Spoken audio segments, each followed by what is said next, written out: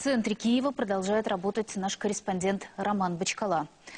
Он находится в районе улицы Грушевского. Роман, добрый вечер еще раз, вам слово.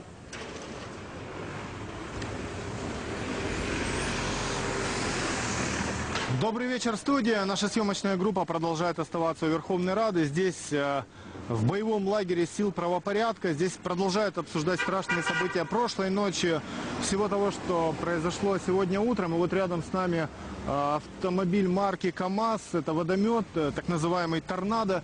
Э, Одна из тех машин, которая, собственно говоря, и пострадала от э, протестующих. И рядом со мной э, Вячеслав, майор внутренних войск.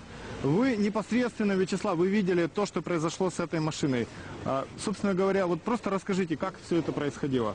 Дело в том, что эта машина особо вреда людям не приносит. Она просто водой э, мочит э, демонстрантов и тем самым, э, как ну, под- под- подталкивает их к тому, чтобы они просто расходились. То есть, грубо говоря, человек намок, ему там оставаться больше нечего.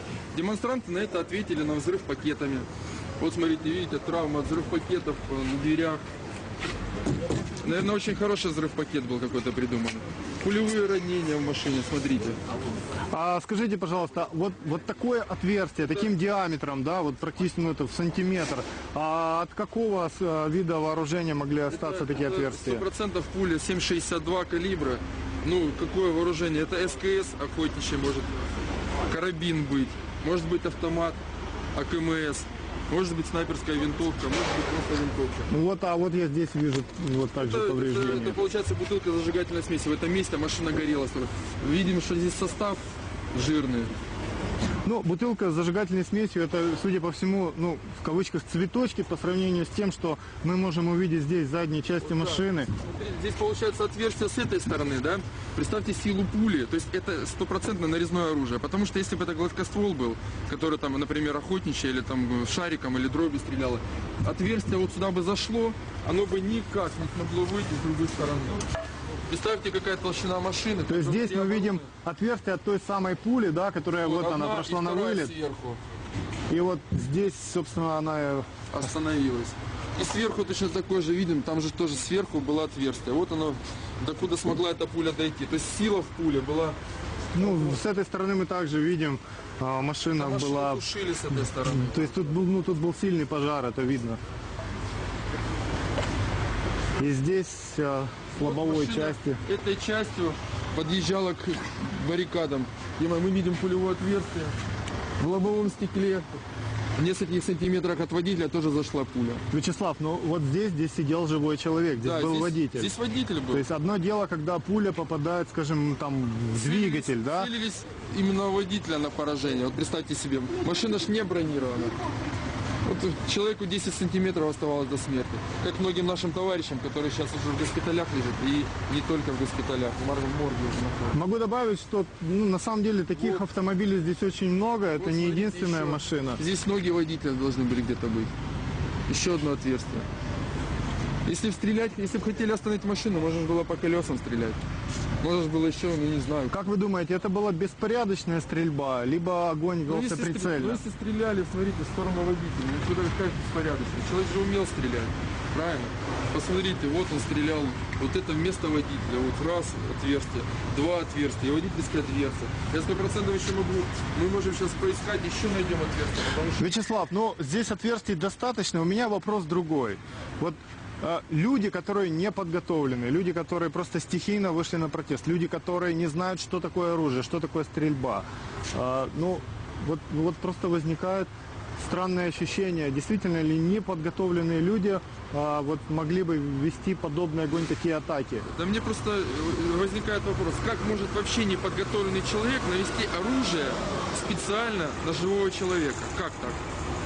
Понятно, что там э, э, мы, если достаточные условия, да, там, к примеру, злочинец озброенный, там, или там война, не дай бог, и тому подобное, мы учились для этого, там, с военных училищ и тому подобное. Нас для этого готовили, чтобы- но мы не стреляли же в людей. Вот Ну я, вот я- вот вы я лично скажи- еще не стрелял в человека. И, э, но меня к этому, да, готовили. А вот тут представьте себе, моделируем ситуацию. Как человек неподготовленный берет в руки карабин и стреляет в живого человека. То есть получается, что он э, сумасшедший. Ну как навести оружие живого человека и знаешь, что ты, в принципе... Вячеслав, вы встречались вот гл- глаза в глаза, лицом к лицу с теми, кто у вас стрелял. Что это за люди?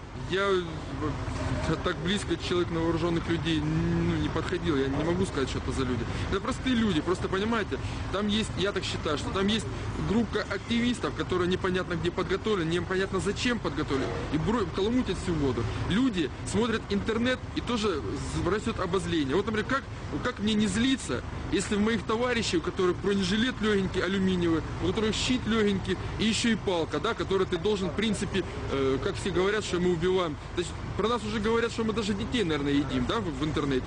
Солдаты внутренних войск, офицеры и прапорщики. Мы едим, наверное, маленьких Вячеслав, детей. давайте поговорим о том, Просто что поедем. будет дальше. Вот сейчас мы здесь, возле Верховной Рады, относительное спокойствие. По вашим ощущениям, что будет дальше? С той стороны баррикад мы видели, там готовят э, укрепления, сооружают заградительные э, некие редуты. А, ну, мы видели, там были и бутылки с зажигательной смесью и прочее. Ну, вот какие ощущения, ну, то есть вы видите, да, что вспышки насилия время от времени вспыхивают и вспыхивают совершенно внезапно. Какие у вас ощущения по поводу вот, ну, вот ближайшего времени, того, что произойдет этой ночью? Я не знаю, какие ощущения. Мы готовы всему. Мы будем стоять здесь только для того, чтобы сохранить конституционный лад в Украине. Мы для этого служим, мы для этого живем, и мы здесь будем стоять. Из нас никто не будет стрелять, это точно. Мы для этого не готовили солдат. Из всех занятий, которые предусмотрены э, боевой подготовкой внутренних войск, у нас занятия для ликвидации массовых заворужень, заворужень посредством щитов, бронежилетов, легких, палок резиновых. Хорошо, а что вы будете делать, если стрелять начнут в вас? Что делать? Стоять будем?